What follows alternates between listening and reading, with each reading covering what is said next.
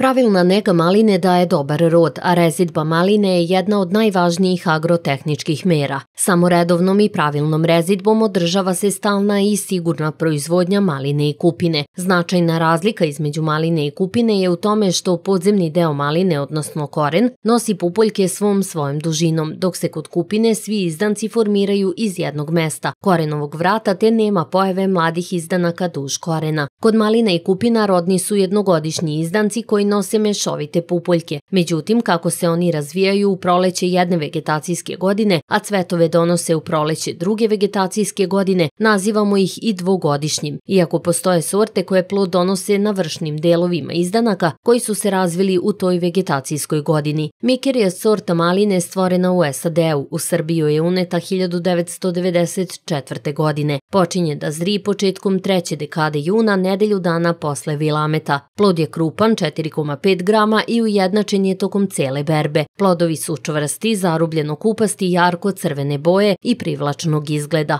Zbog dugih rodnih grančica ova sorta zahteva dodatne naslone, dobro podnosi manipulaciju i transporta, dobro podnosi i zamrzavanje. Nakon sadnje maline, stari deo sadnice oko 20 cm iznad površine tla treba ukloniti kada novoformirani izdanci dostignu oko 25 do 30 cm dužine. Tokom vegetacije novi izdanci se razvijaju te s obzirom na to da su mladi i osetljivi, potrebno ih je pomoću naslona održavati u uspravnom položaju. Na kraju prve godine gajenja svako sadno mesto trebalo bi ostaviti 2 do 3 nova izdanka. U sledeće proleće na početku vegetacije obavlja se proređivanje izdanaka. Odstranjuju se svi oštećeni, polomljeni i slabi, te se ostavljaju najbolji. Broj izdanaka koji će se ostaviti zavisi od sorte i kondicije zasada, a u proseku iznosi 5 do 7 izdanaka po dužnom metru. Zatim se svaki ostavljeni izdanak skrati kratkim rezom, tako da iznad gornje žice ostane 2 do 4 pupoljka, odnosno da na celom izdanku ostane oko 25 pupoljaka. Tokom vegetacije stalno rastu novi izdanci te je njih u početku potrebno otklanjati pre nego što odrvene. Oni se otklanjaju negde do sredine maja. Nakon toga izdanci koji će se razviti posle polovine maja potencijalni su za plodonošenje sledeće godine, te ih više ne uklanjamo nego ih ostavljamo da se razviju.